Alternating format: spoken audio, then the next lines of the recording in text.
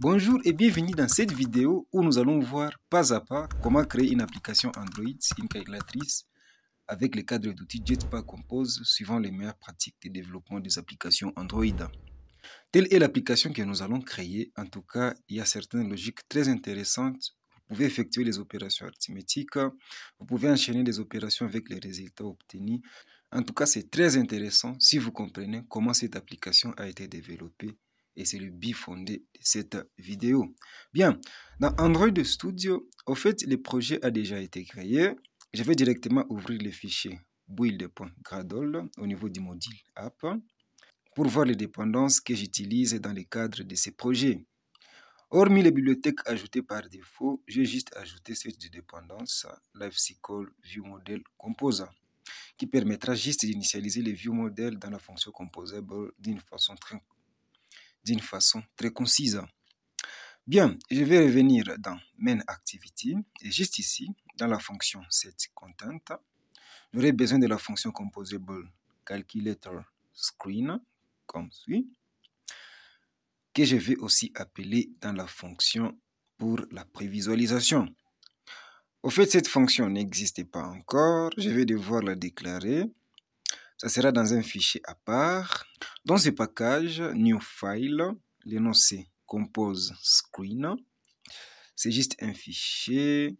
Et juste ici, euh, c'est une fonction composable. Fan Calculator Screen, comme suit. À l'intérieur, je vais appeler la fonction composable column pour la mise en page, pour ranger ces éléments de façon verticale. Au paramètre modifier, Ici, je vais remplir toute cette fonction à l'écran, à l'écran de l'appareil, en appelant ici Max Size. Le premier élément UI ici, c'est un box, une autre fonction pour la mise en page. Modifie, je vais juste que ça remplisse la largeur de l'écran, Max Width. Bon, disons qu'on souhaite que les box occupent les tiers de l'écran. Euh, je vais exprimer cela par une proportion sur 5. Ici, la fonction weight, je vais mettre df, en fait, comme c'est une valeur flotte, pour dire d sur 5 de l'élément parent. Et juste en bas, je vais ajouter un espace par la fonction composable space. Modifier, hmm, comme c'est dans un colonne, je vais appeler la fonction 8. Je vais définir 16 dp pour, euh, pour, euh, pour l'espace. Je vais importer ceci et juste en bas, je vais ajouter la fonction composable column. Modifier, ça va aussi remplir toute la largeur par la fonction max width. Et pour la hauteur, comme le box occupe les D sur 5, comme je l'expliquais tantôt, les colonnes alors, toujours par la fonction width, va occuper le reste de la proportion qui est 3F. Les 2 plus les 3, au fait, ça vaut... Euh, 5, ça fait 5. Padding ici, je vais mettre AWI DP pour la marge. Bon, je vais ajouter ici, juste en bas, la fonction pour la prévisualisation par la notation preview. Show background à true, euh, c'est une fonction composable. Fun calculator screen preview, comme suit. Et à l'intérieur, appeler la fonction Calculator Screen. Je vais afficher la prévisualisation, puis cliquer ici sur Build. Ça y est, nous avons ces deux blocs de notre UI. En bas, nous allons afficher tous les inputs, c'est-à-dire les chiffres, euh, les chiffres, ce que les opérateurs. En fait, tous les éléments UI pour déclencher les événements pouvant changer l'état du UI. Et ici en haut, nous allons afficher les éléments UI qui vont nous permettre d'afficher les états du UI. Les nombres à calculer, les expressions de calcul, même les réponses. Dans les box, la partie d'en haut, j'ai défini box parce que je vais avoir la liberté de positionner les éléments à l'intérieur comme je veux. Bien, ici, je vais appeler la fonction colonne, modifier max width pour remplir la largeur de l'écran, aligne pour positionner cette fonction dans le box. Ça sera au centre, en bas, button center. À l'intérieur, j'aurai besoin de la fonction composable text. Ici, euh, pour afficher l'expression de calcul. Hmm, je vais mettre par exemple 3 plus 7 égale couleur. Pour permettre à l'utilisateur de voir ce qu'il sera en train de faire. Modifie ici euh, à fill max width, padding pour la marge, hmm, juste selon l'axe horizontal, en tout cas ça sera à, à 16 points dp. Je vais définir ici style euh, par euh, texte style. Font size, ça sera à 30 points que je vais, euh, que je vais aussi importer. C'est une unité de mesure pour Jetpack Compose, utilisée souvent pour les textes. Hum, la couleur du texte par le paramètre color à gray. Texte à ligne, en tout cas, je veux que ça soit aligné à droite. Le texte à ligne, ça sera par texte à ligne à end. Cool. Euh, juste en bas de l'expression de calcul, je vais ajouter une autre fonction texte à partir duquel je serai en train d'afficher les entrées utilisateurs ainsi que la réponse. Hum, je vais copier ceci et les coller à ce niveau. On aura par exemple ici la réponse à cette expression, 10 par exemple. Mhm. En tout cas, je vais mettre ceci en évidence. Ça va être à 60 SP comme taille de la police. Et comme couleur, en tout cas, je vais laisser la couleur par défaut qui est, qui est la couleur noire, je pense. Alors, dans la partie en bas, je vais définir les éléments UI pour les entrées utilisateurs, les chiffres et tous les autres machins, machins. Dans la fonction colonne, je vais faire en sorte que les contenus conviennent, conviennent la hauteur tout comme la largeur. Pour ce faire, je vais partir avec les proportions par la fonction de l'objet modifié à la fonction weight. Ici, ça sera une suite de fonctions composable row, modifia fill max width, weight. Au fait, chaque ligne aura une proportion de 1 f, comme ci. Les éléments à l'intérieur seront rangés selon l'axe vertical, selon l'axe vertical au centre. Ainsi, euh, je vais définir les paramètres vertical alignment à center, euh, center vertical, center. À l'intérieur de la fonction, je vais déclencher l'élément UI pour déclencher une action à notre calculatrice, soit pour saisir un chiffre, ou pour appliquer un opérateur, supprimer un chiffre, supprimer tout, ou encore une action pour effectuer les calculs. Au fait, cette fonction composable sera un peu personnalisée.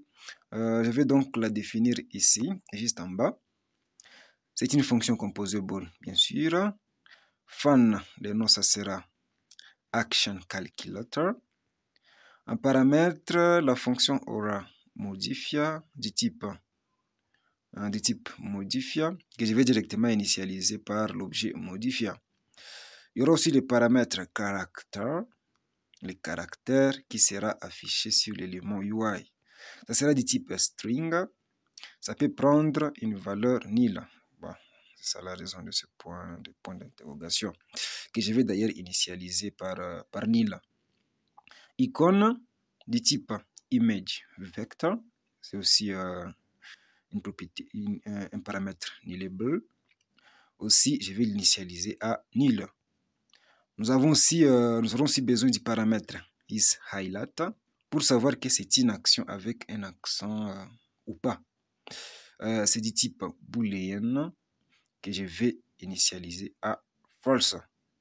Et enfin, comme paramètre, nous aurons une fonction, hmm, une fonction dont le nom ici est on Action Calculator clique comme ci. En tout cas, ça n'aura pas de paramètres et la fonction ne va rien retourner, d'où ici je vais mettre Unite. Cette fonction nous servira à implémenter les instructions sur l'élément Action Calculator. Cool. À l'intérieur de cette fonction, je vais appeler la fonction composable box. Au paramètre modifier, je vais définir, euh, je vais définir à ces paramètres size que je vais mettre à 70 dp. Hmm, clip euh, rounded corner shape à 50% aussi. Euh, clickable. En fait, c'est dans ces blocs qu'on sera en train de définir l'action en cliquant. Donc, euh, je vais appeler euh, la fonction à paramètres juste à ce niveau. Dans les blocs, je serai en train d'afficher soit l'icône ou les caractères selon que l'icône est nulle ou pas. Ainsi donc, euh, if icône n'est pas égal à nul, dans ces cas, j'affiche l'icône par, par la fonction composable icône. Ici, je vais définir plutôt le paramètre image vector par la valeur du paramètre icône, comme suit. Et pour content description, je vais mettre, euh, bon, je vais mettre symbole à afficher. La couleur de l'icône par le paramètre tint, ça sera à partir de l'objet matériel thème, sa, propriété colors. Et là, je vais sélectionner la couleur secondary. En tout cas, pour, pour, pour, pour un accent. Mais dans les cas où, dans les cas où l'icône est nulle, il ça, dans ces cas, je serai alors en train d'afficher juste les caractères par la fonction composable texte. Au paramètre texte, les caractères par la valeur du paramètre caractère. En fait, je vais mettre des points d'exclamation comme c'est une propriété nullable. Euh, style, par texte style, font size. Euh, font size ici, je vais mettre 30.sp. Euh, la couleur, pour le paramètre color, ici, je vais utiliser une expression conditionnelle. Ça sera if if is highlight. Si ce paramètre est true, ce qui est la couleur, euh, la couleur ici, euh, ça sera une couleur avec accent. Donc, euh, ça sera une couleur avec accent. Mais dans les cas, mais dans les cas contraires, la couleur du texte sera plaque. Je vais positionner les textes dans les box au centre. Ainsi donc, je vais définir les paramètres modifiés. Et là, l'objet modifié appeler la méthode aligne à alignment center. Tout comme l'icône, ça doit aussi être centré dans les box au cas où elle est affichée. D'où euh, je vais aussi appliquer, euh, appliquer ces, ces modificateurs aussi à ce niveau. Bien, nous avons fini avec l'implémentation de cette fonction. En tout cas, nous allons faire appel à cette fonction presque partout pour matérialiser au fait notre, notre UI, notre UI de notre calculatrice. À ce niveau, alors, dans la fonction row, je vais appeler la fonction composable action calculator. Je vais enlever ces brackets, ces accolades ici. En tout cas, la fonction lambda, je vais l'implémenter dans les parenthèses. Je vais définir les paramètres modifiés ici. Euh, d'abord, étant donné que je souhaite distribuer les éléments à l'intérieur du row proportionnellement à la largeur que les rows occupent. Ça sera ici 1F. 1F. Le caractère ici, euh, ça sera CA, CA pour dire clear all, euh, pour dire supprimer, en français, pour signifier supprimer tout. Je ne vais pas définir l'icône ici comme j'ai déjà défini les caractères. Is highlight, je vais mettre ici true. Euh, bon, j'estime que c'est une, euh, option importante, c'est la raison pour laquelle euh, je les mets en, évidence. Et enfin, le paramètre onActionCalculator, en fait, c'est une fonction. pour le moment, on ne va pas implémenter la logique derrière cette action. Je vais dupliquer ceci trois fois pour avoir sur la première ligne quatre actions à faire. Cool. Euh, je vais mettre ici euh, barre pour la division. Ici, euh, je vais mettre grand X pour la multiplication. Ici, je ne vais pas définir un caractère du tout, mais plutôt une icône. Et là, à partir de l'objet point default, je vais prendre cette icône et row back. Cool. Je vais copier cette fonction row et la coller juste en bas. En tout cas, cette fonction row a les mêmes caractéristiques avec les précédentes. Je vais juste modifier les caractères à afficher dans les différentes fonctions Action Calculator. Euh, ici, ça sera 7. Je vais enlever is highlight pour garder la valeur par défaut qui est false. Hmm, là, c'est 8. je vais faire la même chose. Ici, c'est 9. Cool. Hmm. Ici, c'est un caractère, caractère, et les signes de soustraction. Euh, juste un petit trait. Et en tout cas, c'est aussi en évidence. Donc, highlight doit rester à true. Je vais copier de nouveau ceci et les coller à ce niveau. Ici, euh, ça sera 5. Là, juste ici, ça sera 6. Ici, euh, ça sera 7. Et juste ici, je vais mettre les signes plus. Juste en bas, je vais appeler la fonction composable row. Modifia, au fait, ça va contenir toute la largeur. Fill max width. Weight, hmm, au lieu de 1F comme les autres, ça va avoir ici 2F. Deux fois plus long euh, selon la hauteur. Deux fois plus long selon la hauteur comparativement aux autres. Et à l'intérieur, il y aura un colonne et, un box comme suit. Au paramètre modifiant du box, fill max width, euh, weight, ça sera un F de l'élément row ici. Et pour la colonne, au paramètre modifiant, weight, ça sera à 3F, ce qui fait une proportion sur 4. Hmm, je vais revenir à la fonction box. Je vais ajouter à l'intérieur une autre fonction box. Au paramètre modifié, au fait, ici, ça sera fill max 8 pour remplir toute la largeur du parent, de l'élément parent. Ici, ça sera juste 80% de l'élément parent, juste 80% de l'élément parent euh, hmm, sous forme de proportion sur 1. La largeur alors par 8 ça sera, euh, ça sera comme pour les autres, euh, donc 60.10 pi. je, vais aussi, euh, je vais aussi définir la couleur du background à material theme.colors à secondary. À ligne, ça sera juste au centre du box l'élément parent. Et c'est à cet élément UI que je vais définir l'événement pour déclencher les instructions pour calculer et retourner les résultats. Donc ici, euh, je vais appeler clickable. Au fait, euh, je vais définir euh, les instructions après. Donc je vais ajouter ces petits commentaires. instructions pour, pour égal comme suit. Hmm, à l'intérieur de ces box, je vais ajouter un texte. En fait, ça sera juste le signe d'égalité, comme suit. Pour le style, par texte style, font size, ça sera aussi à 30 points SP.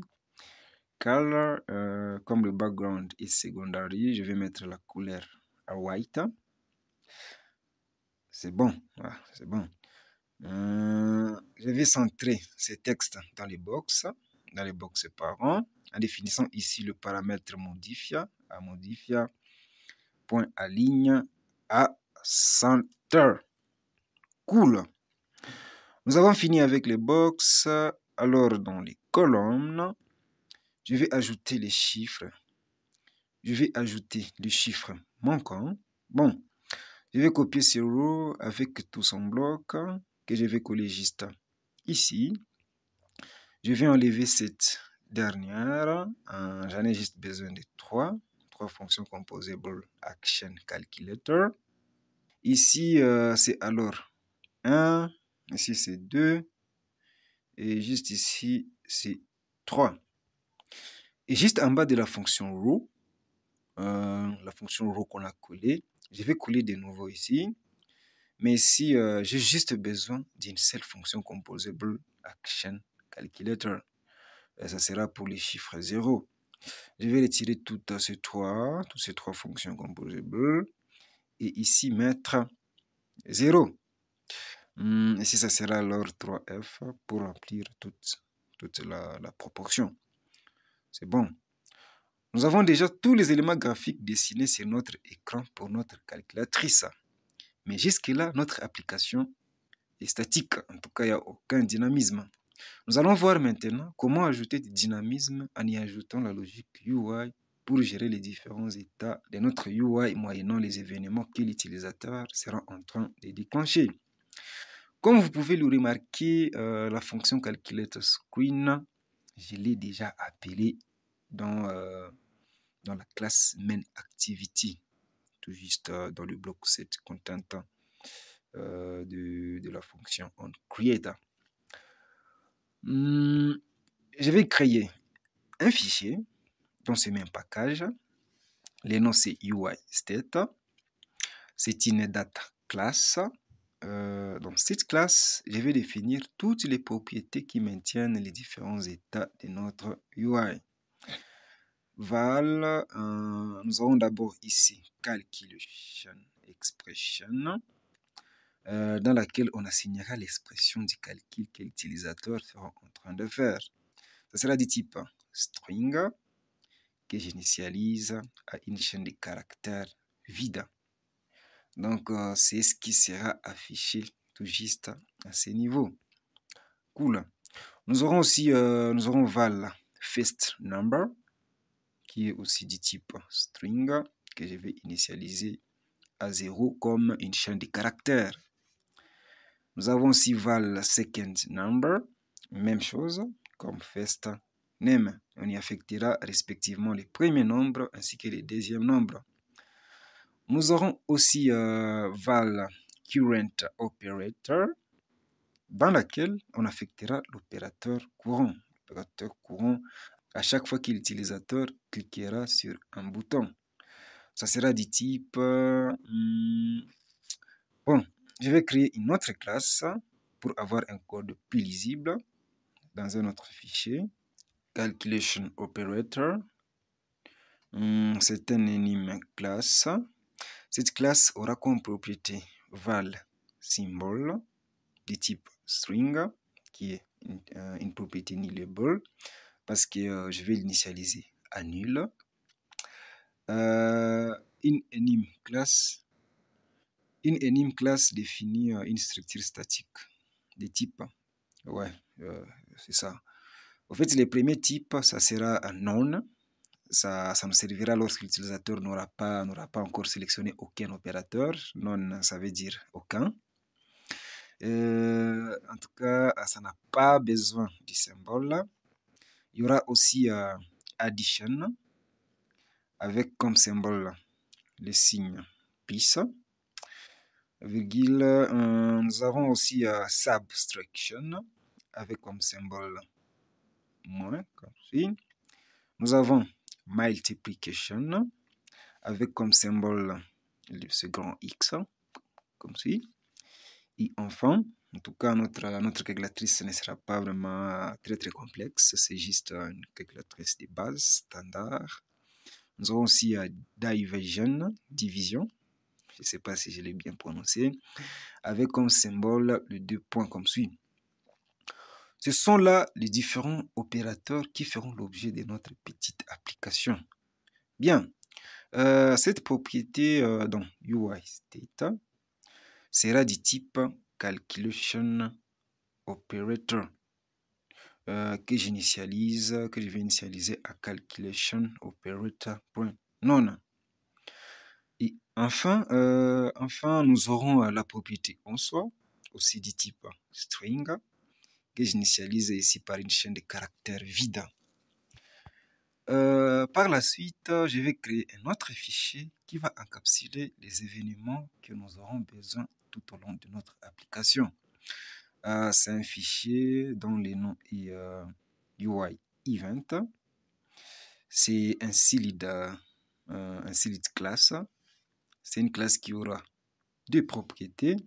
D'abord, val character de type string. Euh, c'est aussi euh, une propriété nilable que j'initialise à nil. Et en deuxième lieu, val operator. Hum, operator qui est du type euh, calculation operator que, que je vais initialiser à calculation, calculation operator non comme. Dans les blocs, hum, pourquoi cette erreur ne disparaît pas Voyons. En fait, c'est une classe au lieu d'une interface. Cool.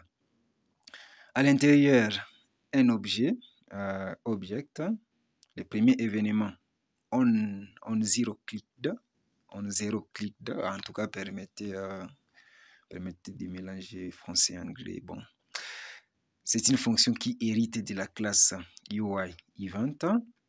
Comme c'est un chiffre, je vais alors redéfinir juste les paramètres character. Comme c'est on zero clicked, le caractère ici, ça sera à 0, comme une chaîne de caractères. Euh, je vais dupliquer ceci 9 fois. Euh, en tout cas, euh, ici, ça sera 1, 2, 3, 4, 5, 6, 7, 8 et juste en bas, ça sera 9. Tout comme aux valeurs passées aux paramètres caractère. Ouais, normalement, euh, chaque événement doit retourner un caractère, un caractère donné. Cool. Pour les opérateurs, je vais définir ici hein, object on place clicked. Euh, ça hérite aussi de la classe UI event. Comme ici, c'est un opérateur, je vais juste, je vais juste redéfinir le paramètre operator. Euh, ici, euh, comme c'est on place, ça sera addition comme suit. Hmm, je vais dupliquer. Ici, c'est on minus. Ici, euh, l'opérateur c'est subtraction. On divide, l'opérateur c'est division. Et on times, on, on times, l'opérateur c'est multiplication. Bon, je pense que ça donne du sens.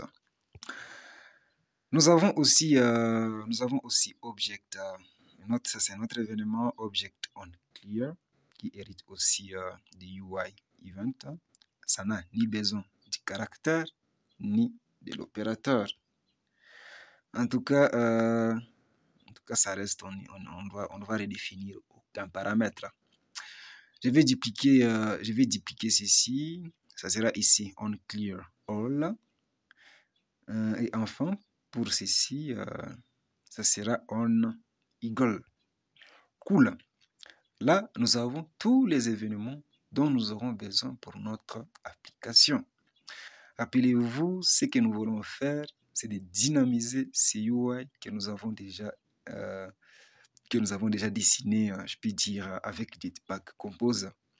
Et la logique de notre UI, nous devons le définir dans le composant ViewModel, qui a un cycle de vie euh, plus long qu'une activité et qui va, qui va aussi nous permettre de gérer l'état de notre UI d'une très bonne manière. Euh, je vais donc créer un nouveau fichier que je vais nommer Calculator View Model. C'est une classe ordinaire. Ça doit hériter de la classe View Model comme suit. À l'intérieur, je vais créer une variable UI state du type mutable state des, euh, des instances UI state que j'initialise directement par mutable state of par une instance de la classe UI state.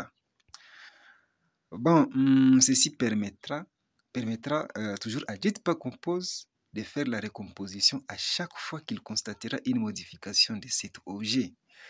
Euh, je vais créer une fonction ici, euh, fan on event, qui a comme paramètre UI event du type UI event. Euh, cette fonction permettra de déclencher l'exécution des instructions de tout genre d'événements en provenance des éléments UI. En attendant, euh, je vais d'abord déclarer une fonction ici, euh, private fan update number. Hmm, cette fonction sera exécutée chaque fois qu'un utilisateur cliquera sur un chiffre c'est-à-dire de 0 à 9. En paramètre, cette fonction aura besoin du caractère du chiffre, euh, ainsi number character du type string, comme suit. Hum, au fait, c'est cette fonction qui nous permettra de définir les premiers nombres ainsi que les deuxièmes nombres.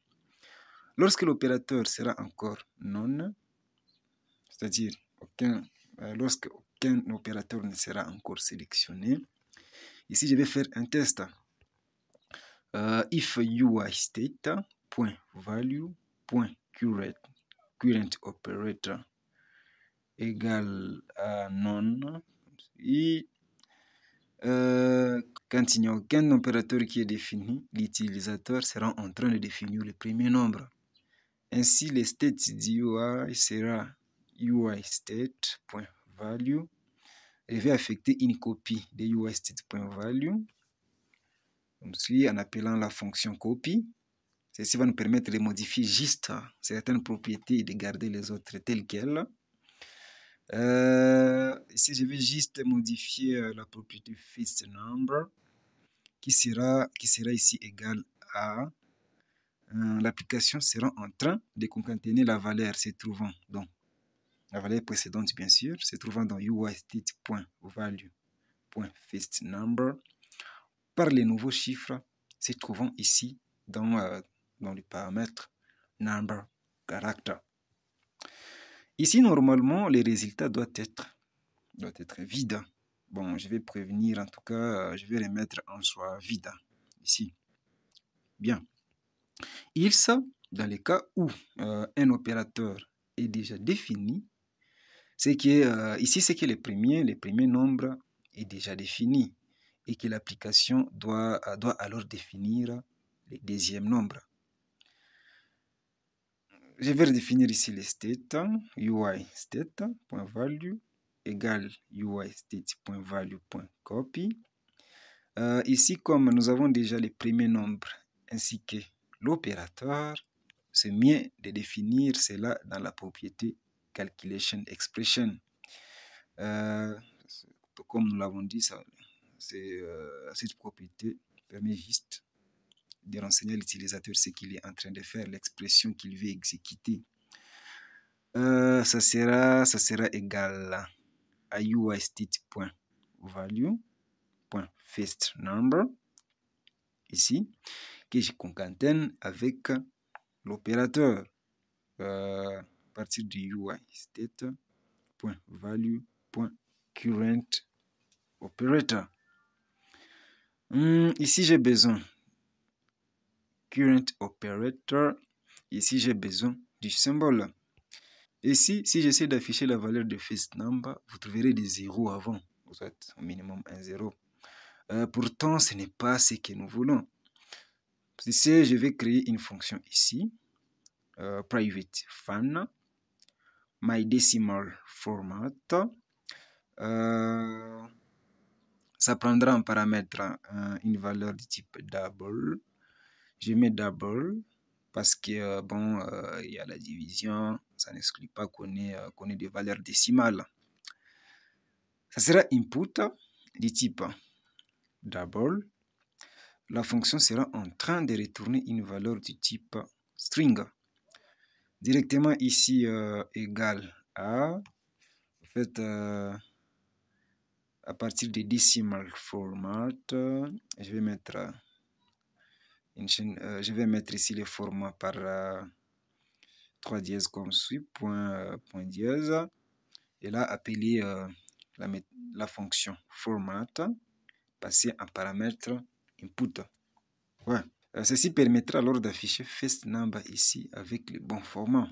Éliminer les zéros inutiles au début de la valeur et les zéros inutiles après la virgule. Hum, je vais appeler ici la fonction MyDecimal format et passer en paramètre ceci. Ça doit être une donnée double, donc à ce niveau, tout double. C'est cool. En plus de ça, euh, on sera aussi en temps de définir le deuxième nombre par second number qui est égal à UI number je serai aussi en train de concaténer avec number character du nombre qu'on a cliqué. Au niveau à l'heure de la fonction on UI event, je vais faire appel à la structure conditionnelle when sur le UI event pour ici savoir quel événement provient aux événements UI event pour déclencher l'exécution des instructions relatives à l'événement ici. Ici, ça sera donc when UI event. Si l'événement est envoyé en cliquant, en cliquant sur les chiffres, c'est-à-dire on 0, click on 1, euh, on 1 click jusqu'à on 9, on 9 click Là, euh, quelle, euh, quelle, instruction sera exécutée? Bon, ici, ici on, on exécutera bien sûr, on exécutera bien sûr les instructions de la fonction update number. Remarquez, chaque événement clic des chiffres a une propriété caractère. C'est cela qu'on a besoin pour... Euh, et c'est cela qu'on a besoin pour passer comme argument du paramètre number character. Bien. Comme c'est une valeur nulle, donc je vais, euh, je vais mettre les deux points d'exclamation pour forcer... Euh, bien. Je vais mettre les deux points d'exclamation. Cool. Euh, si l'utilisateur clique sur 1, le caractère sera 1, ainsi de suite. Et pour esquiver cette erreur, je vais mettre ici ils comme suit. Et dans Calculate Screen alors, hmm, à ce niveau, j'aurai besoin d'une instance de la classe ViewModel parce que les éléments de cette fonction composable, en tout cas, ont vraiment besoin d'interaction avec la logique qu'il y a dans le ViewModel. Ainsi, euh, ici, ViewModel du type Calculator ViewModel qui est égal, euh, je vais juste appeler ici la fonction euh, ViewModel comme suit.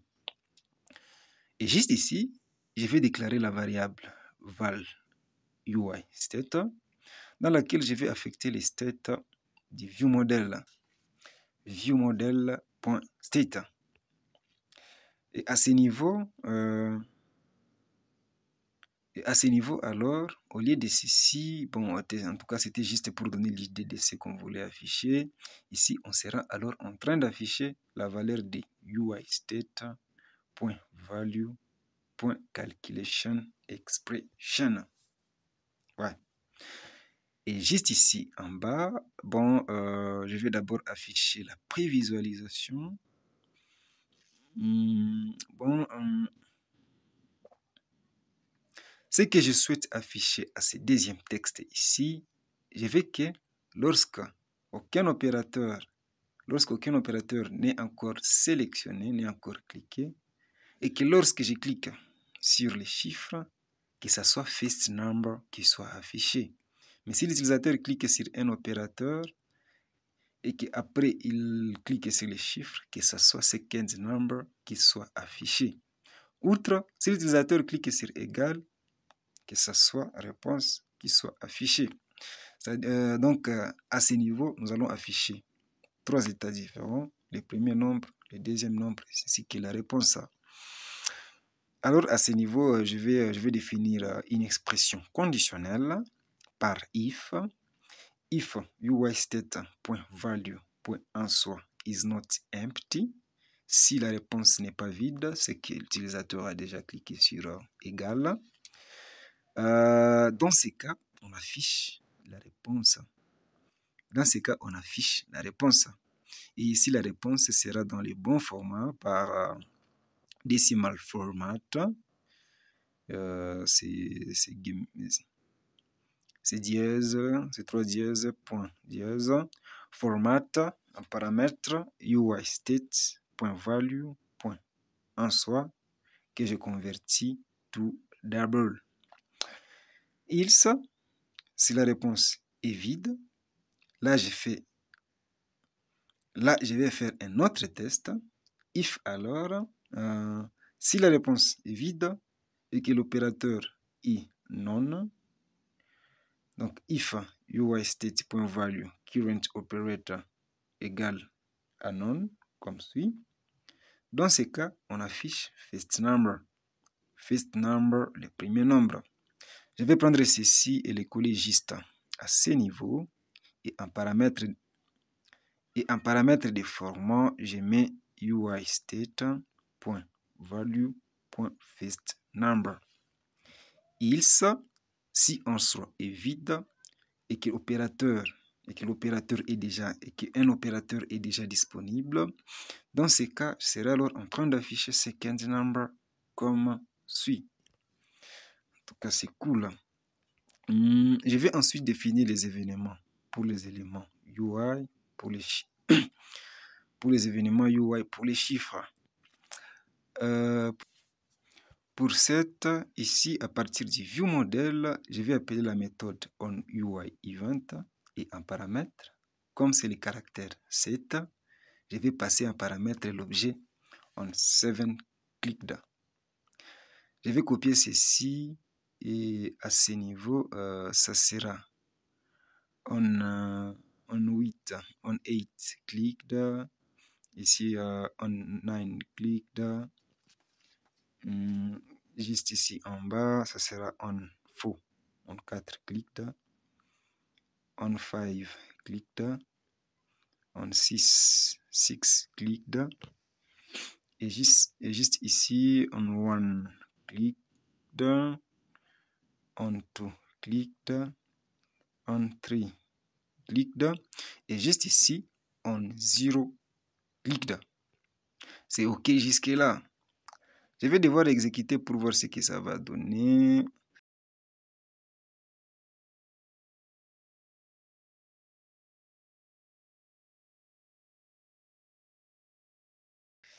Oups, euh, il y a erreur. Voyons voir ce qui ne marche pas dans log 4.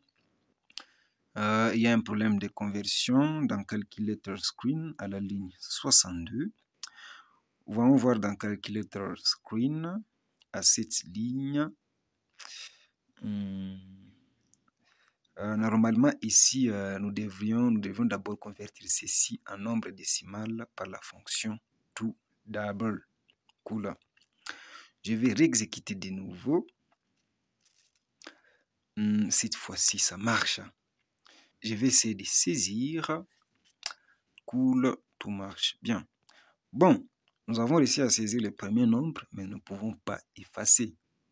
Euh, ce que je vais faire dans Calculator View Model, à ce niveau, si l'événement est on clear all, is clear all, on clear all. Dans ce cas, tout ce que je serai en train de faire, c'est de remettre les states à l'état initial.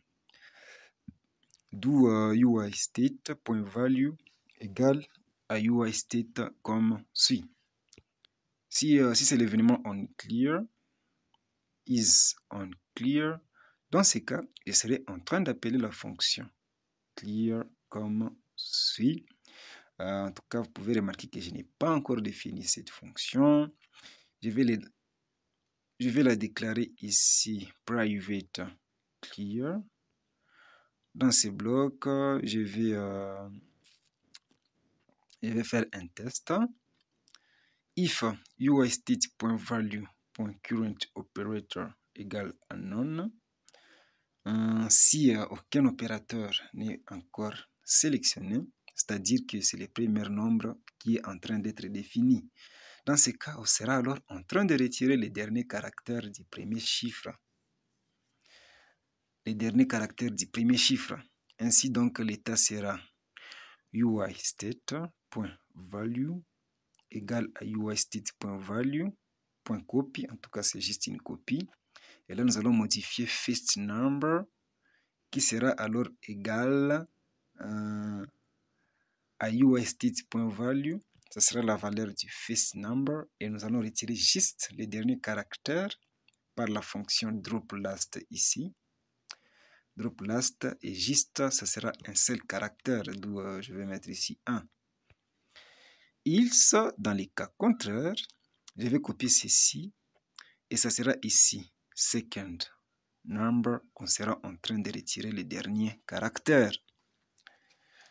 Dans Calculator Screen, à ce niveau où le caractère est CA, Clear All, je vais définir ici euh, à cet événement, je vais définir à cet événement depuis l'instance ViewModel, appeler la méthode onUI event à paramètre on clear all. Et juste à ce niveau où nous avons défini l'icône ArrowBack, ici euh, aussi View Model, on UI Event, un paramètre on clear. Cool. Je vais exécuter pour voir ce que ça va donner. Euh, je vais saisir.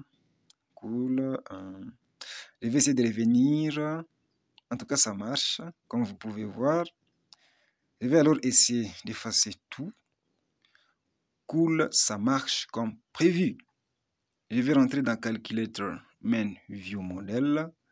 Il nous manque jusque-là l'implémentation des événements lorsqu'on sera en train de cliquer sur division, multiplication, addition, encore soustraction. Bon, euh, je vais ajouter une nouvelle méthode ici, private fun, que je vais nommer operator. Euh, un paramètre operator du type calculation operator. Au fait, lorsqu'on cliquera sur ce bouton, l'état du UI doit changer. L'état du UI doit changer normalement. UI state.value égale à UI state.value.copy. Ici, nous avons juste à modifier. Hmm, bon, euh, je vais remettre d'abord un soit vide. Et current operator devra, devra ici être égal à l'opérateur à l'opérateur un paramètre. Et calculation expression devra aussi changer. Ça sera alors ici euh, par la fonction MyDecimalFormat UIState.value.fetchNumber que je convertis tout double. Je vais concaténer avec le symbole de l'opérateur en paramètre operator.symbol. Donc si le premier nombre est 1 et que l'opérateur cliqué est moins, ça sera affiché ici 1 moins. À ce niveau alors, si l'événement est l'un des opérateurs, is on place, on minus, on times, on divide, si c'est l'un de ces événements, on appellera la fonction operator. Comme vous pouvez voir, les événements pour les opérateurs initialisent les paramètres operator par leur opérateur spécifique. On sera en train de récupérer cela à partir de l'instance event.operator. Cool. Je vais exécuter l'application euh, 78. Je vais cliquer sur place, please. Hmm, rien ne se passe. En fait, euh, nous n'avons pas appelé les événements au niveau des éléments UI dans Calculator Screen. À ce niveau, je vais appeler à l'objet ViewModel la méthode onUI event et passer en paramètre l'objet onDivideClicked. Je vais copier ceci à ce niveau. Euh, l'événement sera onTimesClicked. Ici encore, je vais coller l'événement. C'est onMinIce et juste ici, c'est onPlaceClicked. Je vais exécuter de nouveau l'application pour voir si ça va marcher cette fois-ci. Je vais taper 78. Lorsque je clique sur plus, merde, ça ne marche pas toujours. Je vais cliquer sur moins. Oups, il y a erreur. Voyons voir hum, encore une erreur de conversion. Cette fois-ci à la ligne 63. Toujours dans Calculator Screen. Euh, ici aussi, je devrais appeler la fonction toDouble pour convertir la chaîne de caractères en double. Je vais réexécuter. C'est bon. 75 plus. Ça ne marche toujours pas. Je vais tester moins. Et oui, ça marche. Multiplication, division. En tout cas, tous les opérateurs fonctionnent à part, à part l'addition. Hmm, voyons voir pourquoi euh, euh, nous devrions appeler euh, au view modèle la méthode on UI event et un paramètre on place. Ouais, comme ceci. Je vais exécuter pour voir. Euh, 70 plus 6. En tout cas, cette fois-ci, ça marche. Cette fois-ci, ça marche. Enfin, je vais implémenter les derniers événements pour faire les calculs afin de trouver les résultats. À ce niveau, ça sera is on equal. Oups, euh, le nom, en tout cas, ce n'est pas ce que je voulais. Je vais modifier dans UI Event à on equal clicked. Voilà. Tout comme ici. Bon, comme nous avons déjà traité tous les événements, il en tout cas, il ça ne, ne nous est plus d'aucune utilité. Je vais donc l'enlever. Euh, ici, je vais alors appeler la fonction equalize. Equalize. Bon, je ne sais pas si c'est du bon anglais, mais equalize. Je vais mettre ça tel quel. Euh, que je vais devoir créer à ce niveau. Private fan equalize. Dans cette fonction, euh, when, ici, je serai en train, en train de vérifier quel opérateur a été sélectionné pour voir quelle expression de calcul utiliser. Si c'est l'addition, dans ce cas, euh, uistate.value sera égal à uistate.value.copy. Euh, la propriété en soi sera égale, en fait, comme c'est une propriété de type string, je vais mettre entre parenthèses uistate.value.firstNumber to double plus euh, je vais copier ceci à ce niveau et il est tout les résultats de cette expression je vais convertir ça to string un first number je vais first number je vais l'attribuer aussi la valeur de cette même expression pour permettre, lorsqu'on lorsqu souhaite enchaîner les calculs sur les résultats, de définir juste le deuxième nombre. C'est bon. Euh, si c'est subtraction, je vais copier tout ceci à ce niveau.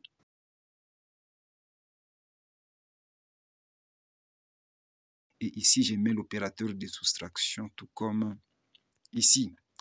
Et ici, c'est multiplication. Je colle de nouveau ceci et je mets l'opérateur de multiplication.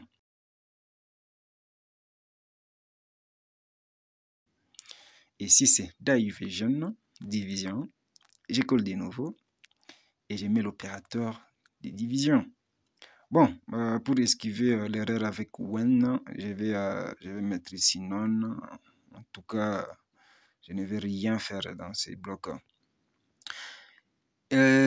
Pour toutes les opérations, pour toutes les opérations, le ici, point value, sera égal à UIState.value.copy.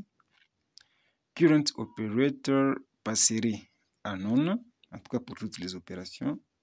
Calculation expression sera égal à uh, my decimal formatter uistate.value.first number to double que je vais concaténer avec uistate.value. ici curate operator là j'ai besoin du symbole que je vais aussi encore concaténer avec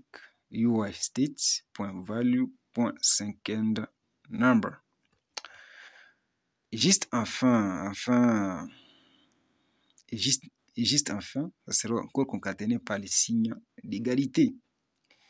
Et ici, nous serons en train de remettre second number à 0 comme une chaîne de caractères. Ceci permettra, lorsqu'on appellera la fonction update number, après avoir cliqué sur equal, de saisir directement second number. First number est déjà chargé, euh, étant déjà chargé de la réponse.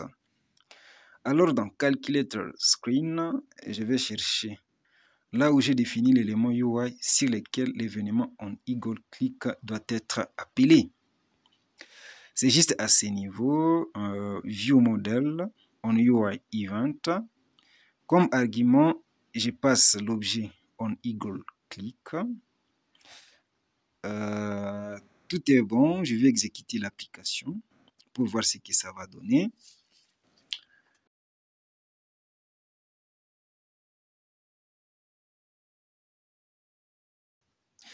« 5 plus 5 égale 10. Hmm, il y a quelque chose qui cloche. Je vais essayer 8 moins 4 égale. En tout cas, ça ne marche pas comme prévu. Euh, dans la fonction equalize, voyons voir. Hmm, en tout cas, nous essayons d'additionner les premiers nombres avec les premiers nombres. Normalement, ça devrait être les premiers nombres avec le deuxième nombre, avec second number. Second number à ce niveau. Tout comme ici, partout là, euh, on a fait la même erreur.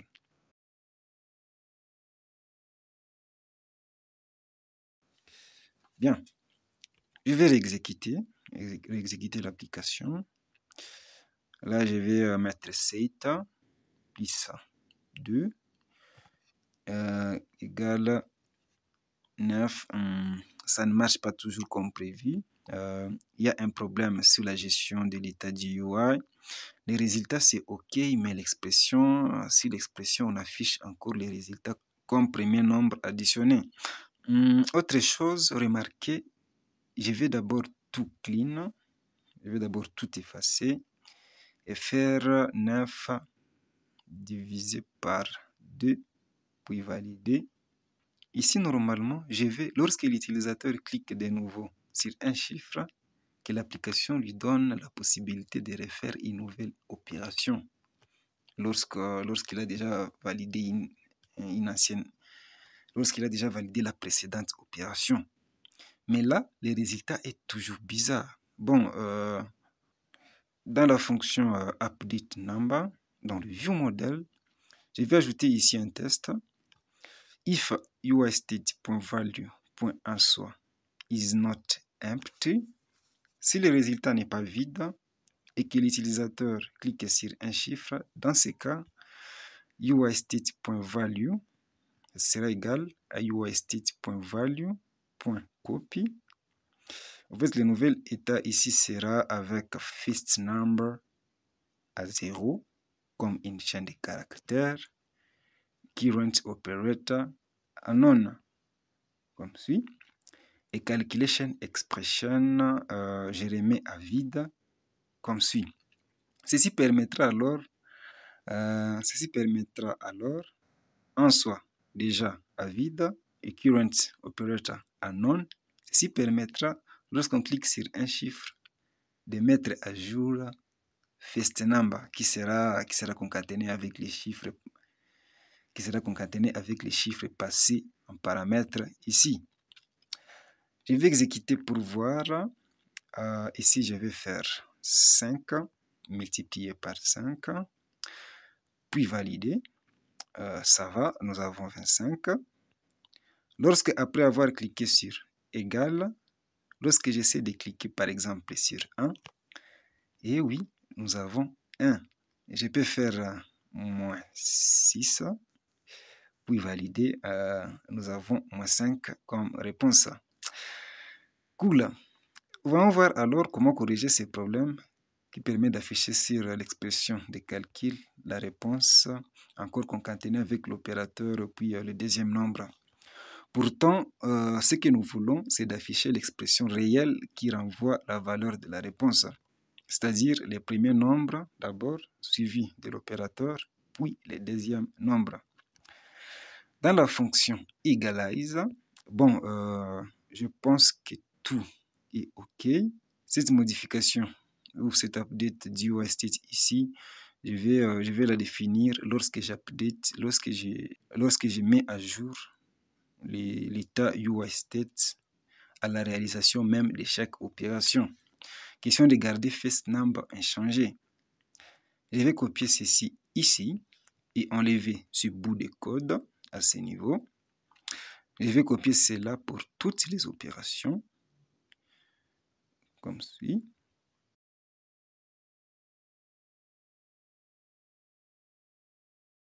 Hmm.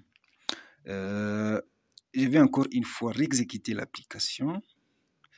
Euh, c'est bon. Voyons, 5 plus 6.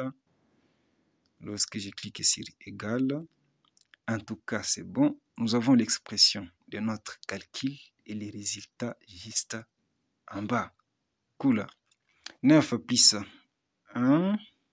Lorsque j'ai cliqué sur égal, nous avons 10. À ce niveau, lorsque j'ai cliqué sur backspace, au fait, euh, vous pouvez remarquer que ça ne fait rien. Mais euh, pour être prévoyant, euh, à ce niveau de la fonction clear, je vais prévenir toute tentative de retrait d'un caractère aussi longtemps que la réponse n'est pas vide. If state.value.en is not empty, tout ce que je serai en train de faire, c'est juste return. À chaque fois qu'un soit ne sera pas vide, la suite des instructions ne s'exécuteront pas. En tout cas, c'est cool. Remarquez, notre calculatrice, hum, je vais d'abord tout effacer, puis 12 euh, multiplié par 5, ça fait 60. Ici, j'ai la possibilité d'enchaîner les opérations sur les résultats. Les 60, je peux, euh, je peux les diviser par, euh, par 3 pouvez voir que ça nous donne 20, ainsi de suite. En tout cas, c'est très génial. Voilà donc, très chers devs, nous voici à la fin de cette vidéo où nous avons montré step by step comment créer une calculatrice Android avec Jetpack Compose. C'est vrai, euh, la calculatrice n'est pas parfaite, mais la manière dont nous l'avons faite, en tout cas, peut vous inspirer à créer d'autres solutions selon vos problèmes. Les liens du répertoire de ces projets sur GitHub et dans la description si vous voulez l'améliorer, sentez-vous libre ou euh, si vous voulez télécharger le code source, en tout cas, vous avez les liens dans la description. Merci donc d'avoir regardé cette vidéo jusqu'à la fin. Si vous l'avez aimé, faites-nous une faveur en vous abonnant à notre chaîne, ça nous fera vraiment plaisir. Du reste, portez-vous bien. Bye.